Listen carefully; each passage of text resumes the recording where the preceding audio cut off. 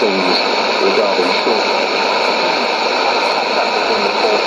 until email came along in the, in the 90s or the, the 2000s when we signed up for a fire.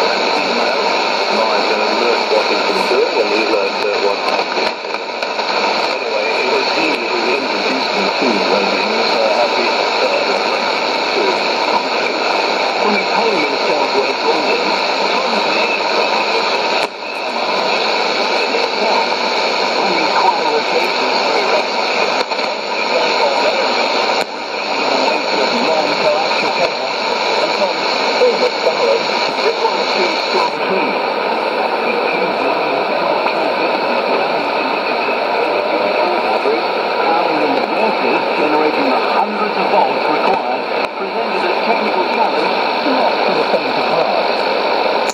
Following a successful transmitter test throughout 1970s, five watt radio command called London Standby Transmitter in December 1970.